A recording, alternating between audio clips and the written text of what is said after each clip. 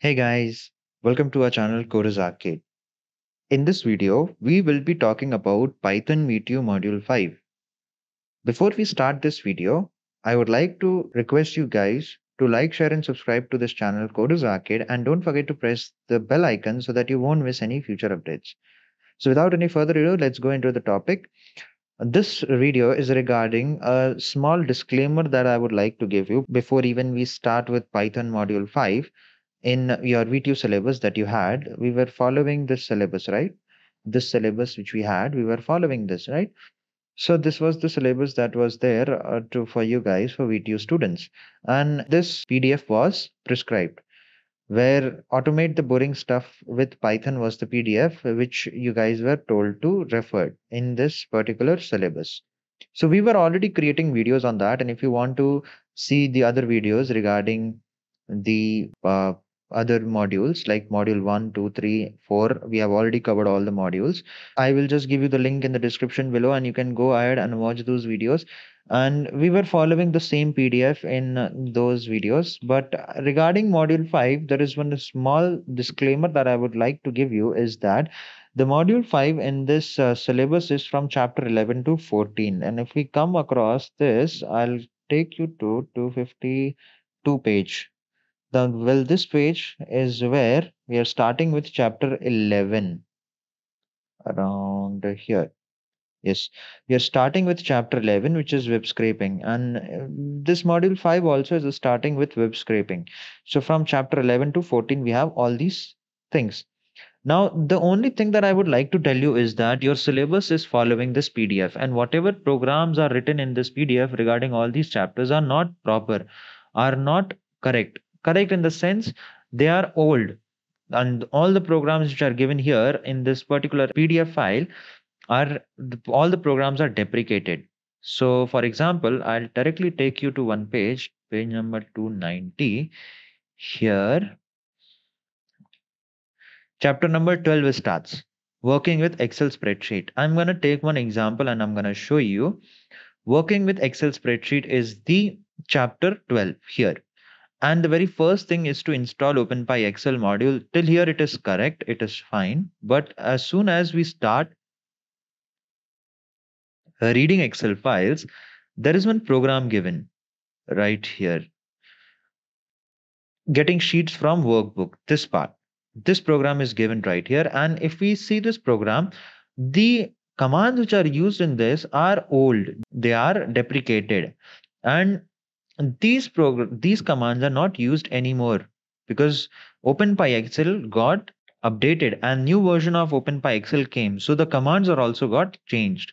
So the one thing that I would like to tell you guys, if you're learning from here this PDF, be careful because here these commands are not working now. See, I'll show you. For example, I have taken an example of the same program which was written here and I have written the same program on my PyCharm.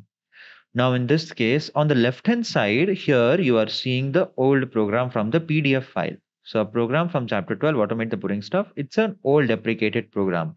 So this is the program where we are using the same get sheet names, then get sheet name, then or get active sheet, these commands. But these commands are not working now. These commands are deprecated.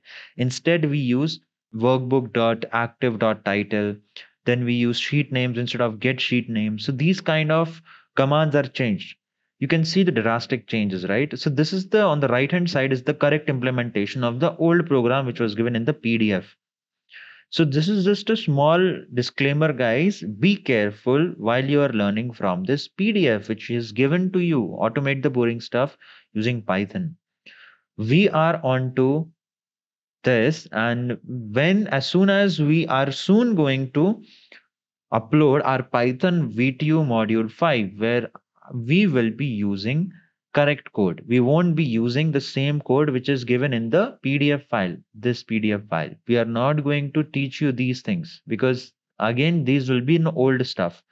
And we don't want you guys to be updated with the old stuff. That is why we are going to rewrite these codes and we are going to correct these codes and then we are going to upload our Python module 5.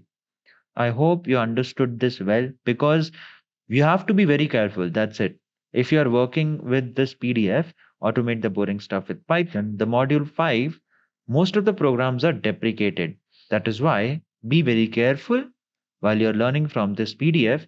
We are soon going to upload a new video where we are going to cover all the full module, all the topics in this full module, module 5, and we are going to show you the correct implementation of each and every code given in the same PDF. So this is the small announcement, guys, that I would like to tell you. Soon, very soon, we are going to upload our Python VTU module 5 as well.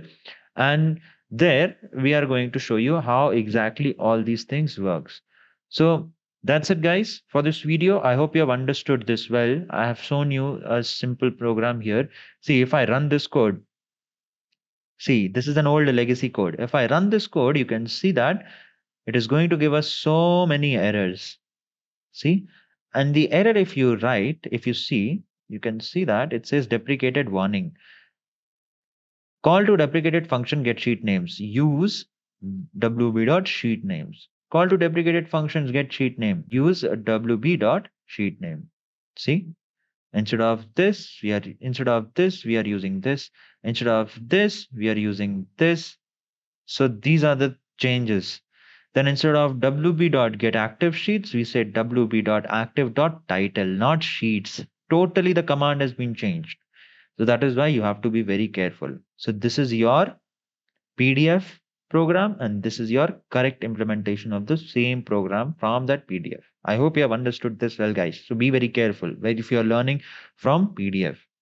So that's it guys for this video. I hope you have understood this well. If you want to see this code also, you can see it's running fine. No errors into this. But if you run this one, you will get so many errors. That's it. So that's it for this video guys. I hope you have understood this video well. Um, stay tuned because we are going to of course upload our Python VTU module 5 very very very soon and you are going to love that as well. So that's it from my side. That's it for this video, guys. I hope you have understood. Till take care. I'll see you guys in the next one. Till then, like, share, and subscribe. And don't forget to press the bell icon to our channel, Coders Arcade. Alright, guys. See you in the next one. Happy learning.